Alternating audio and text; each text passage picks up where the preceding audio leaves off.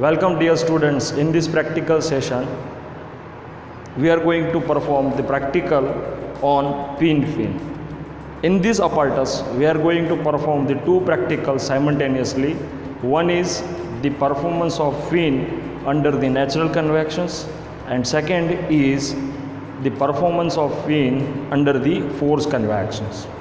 Aim of this practical is to determine the temperature distributions profile on the fin surfaces when fin is operated under the natural convections as well as for force convections. Let's we analyze the apparatus given over here. So in this apparatus we have three different fins. In the apparatus we have three, one, two and three different fins are there. The material of the construction of the fins are different the first fin is made of aluminum, second is made of brass and third is made of the stainless steel. And the length of the fin is 175 millimeter. And on that length of the fin we have fitted the five different thermocouples at a distance of 4 centimeter, 7 centimeter, 10 centimeter, 13 centimeter and the last sensor we fit at 16 centimeters. And here when you operate the different fin you need to set the voltage and current for the heater using this dimmer set. As well as you need to select the fin which is taken under the consideration for the experimental purposes. So here let's i show you how it, it works so currently all the three heaters are in off conditions and that's why the current flow in the circuit is zero. Now I start the first fin that is aluminum. So now you can observe over here the current is flow that is a 0.27 amperes and voltage that I have set that is 130 as now I start to heat the aluminum fin I also need to select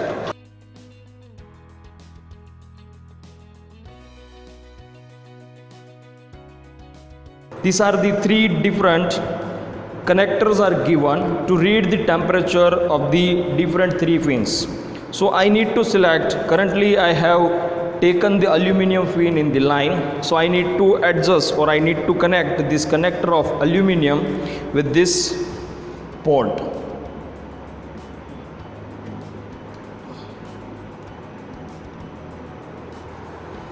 Now you can see here this port is show the different readings from channel 1 2 3 4 and 5 which shows the corresponding readings of the thermocouple that we have fitted at 4 centimeter 7 centimeter 10 centimeter 13 centimeter and the 16 centimeters. So this is the arrangement uh, for the natural convections so now uh, after setting of the means after fixing the voltage and current to the heater as well as connection of the connector we need to wait till the steady state conditions is reached. So in this way we are performing the practicals in natural convections. Now for the observations table so in observation table you need to write first that is a material. So currently we are going to perform the practical for aluminum fin so you need to write aluminum then there is voltage and current readings you need to write. Then after steady state conditions you need to write the temperature readings from T1 to T5 and also you need to write the ambient temperatures. And from this temperature first of all you need to calculate the mean temperature of fin and then basis on the ambient temperature and mean film temperatures you need to calculate the mean film temperatures. And basis on this mean film temperature you need to go for the properties reading from the standard tables for air is given from the standard table of properties for air you need to read the various value like density Prandtl number viscosity dynamic viscosity kinematic viscosity. So that you need to calculate. And from that you need to go for the calculations of the Grashof number. Because currently we operate the apparatus in natural convections.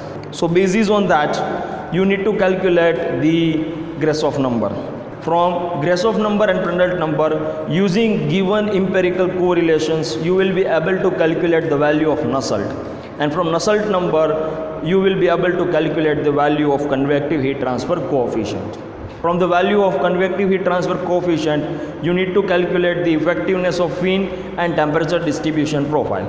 So basis on the calculations of temperature distribution profile, you will be able to calculate the temperature by theoretical way as well as you have also noted down the various readings of the temperature at different sections. So on basis of the experimental readings as well as theoretical calculation reading, you need to plot the graph. So in same way, you need to go for the brass as well as for the stainless steel.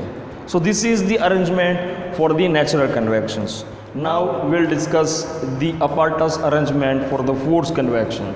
For forced convection, we have fitted one blower which blow the air and it is going in this duct from this pipe likewise suppose I want to operate it then you can see here the blow of air is there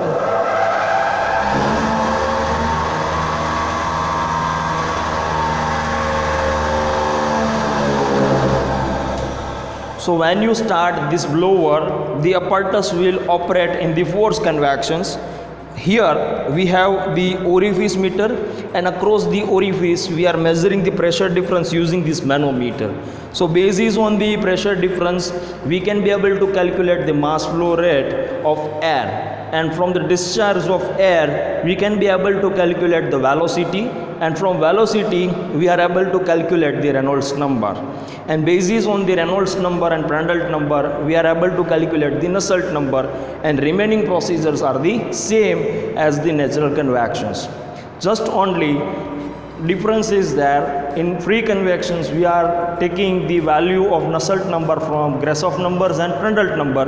In forced convections we are taking the value of Nusselt number from Reynolds number and Prandtl numbers so for calculation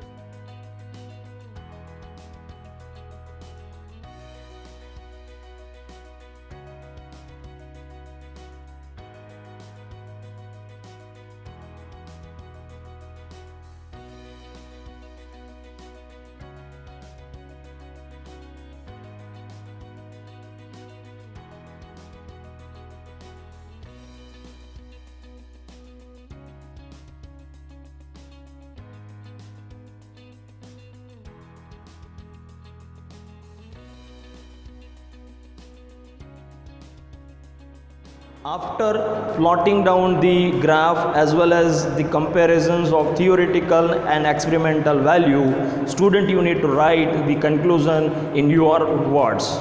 Thank you for attending this practical session